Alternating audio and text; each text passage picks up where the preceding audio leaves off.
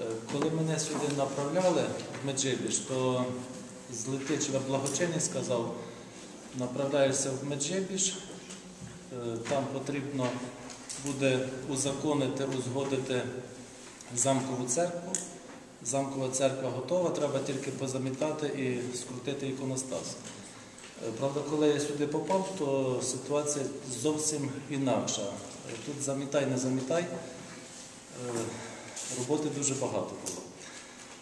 Е, Коли утворилася громада Київського патріархату, то я за своїм характером не є такий, що е, раз ти не з нами, значить ти проти нас.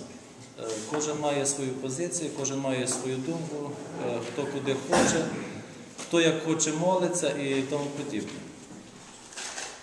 Почали звертатися в різні інстанції для того, щоб е, передали храм, який на той час пустував, е, передали громаді Київського патріархату. Але на той час, в дві- 2000 році, коли ну, куди не прийдеш, е, в адміністрацію, в будь, будь-які інстанції, які ми зверталися, там завжди була позиція ну, більше до московського патріархату. Але все рівно, все рівно, е, скажімо, зверталися, тому що тимчасово молилися е, в переробленому, е, скажімо, пристосованому храмі. Тобто це була будівля магазину колишнього, приспособлена для храму, для тимчасових молитов і треб.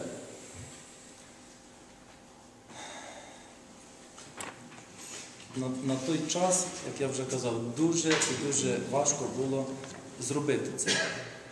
Тому що коли стикнулися, вроді прийшли, подали документи, передали і все. Та ні.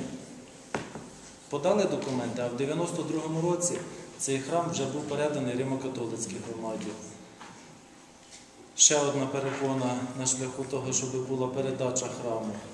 Е, Почали звертатися в господарський суд, в інші інстанції. Е, Не так це все просто. Тоді почали робити передачу храму іншим шляхом. Тому що подали ми документи, подала е, громада Московського патріархату, одночасно також документи, щоб їм передали цей храм. Побачили ми, що шляхом суд і інше, інше, інше не вийде. І тим більше, як я на початку казав, я не, ну, не такий в мене характер, що йти воювати, з кимось сваритися, битися і тому подібне. Почали ми робити це все мирно. Звернулися ми до Римо-католицької громади тут на місці. Їх всього-навсього Меджибіж, Ставниця і Трибухівці вісім чоловік. Але передали, тому що передали Римо-католицькій громаді. Звернулися ми до е, Ксьонза, який е, декан Летичівського району, отець Адам. Він сказав, місце святе, тому, напевно, треба, щоб воно не пустувало. Сказав, що вони не проти. Поїхали ми далі. Звернулися ми е, в Кам'янець-Подільську дієцезію до Римо-католицького єпископа чи біскупа. Тоді якраз був такий перехідний е, перехід від е, Яна Ольшанського до Леона Дубравського. То ми так починали з одним єпископом е, католицьким, закінчували е, з іншим, з Леоном Дубравським. Пізніше звернулися з відповідними листами від єпархіального управління нашого до Римо-католицького управління і отримали відповідний лист про те, що Римо-католицька громада не заперечує про те, щоб храм, храм був переданий нашій громаді.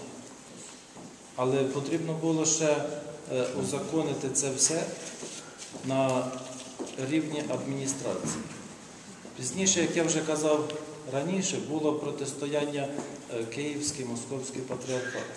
Але враховуючи, що наш владика Антоній також не є е, по своєму характеру якимось воїном завойовувати, забирати, руйнувати.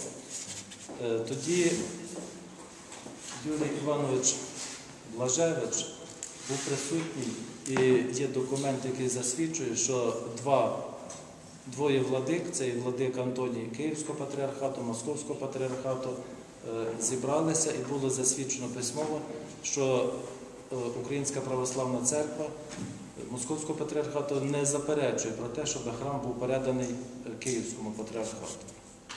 Після цього були подані документи на розгляд е, сесії обласної ради і за рішенням сесії і розпорядженням голови адміністрації в 2006 році, бачите, коли перед прихожанами, то не страшно, а коли на конференції, то чогось страшного. Храм був переданий е, нашій громаді. Але для того, щоб здійснювати богослужіння, ще було е, ну, неможливо це було, тому що храм був в занедбаному стані, використовувався як е, склад непотрібних списаних музейних різних речей. Але робили ми все згідно закону. Сказали, що потрібно е, обстеження археологічне храму. Зробили ми обстеження археологічне. Сказали, що треба е, фотозйомку храму в тому стані, який він був на той момент. Зробили ми це. Сказали, що потрібно підписати е, договір з адміністрацією. Був підписаний договір з адміністрацією заповідника.